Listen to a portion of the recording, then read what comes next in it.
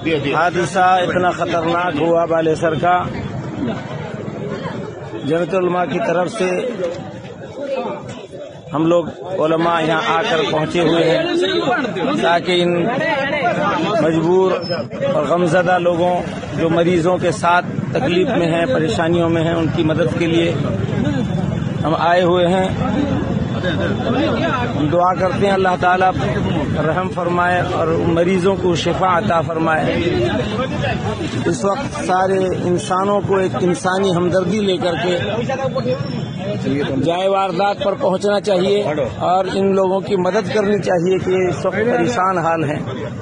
इतना बड़ा हादसा हमारी उड़ीसा की तारीख में पहली मरतबा रूनुमा हुआ है, अल्लाह रहम फरमा दे।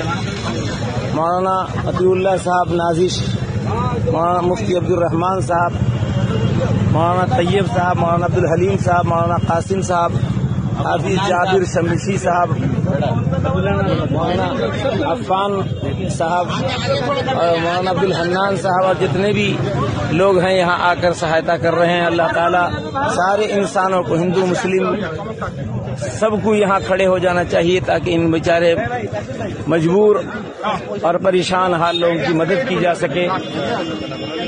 मिल्लत और मज़हब से ऊपर उठकर इंसानियत के तौर पर हमें इन लोगों की मदद करनी चाहिए। एस मेडिकल के पास हम लोग मौजूद हैं। मरीज़ अंदर पड़े हुए हैं। उनके मदद के लिए आए हुए लोग भी बहुत परेशान हैं।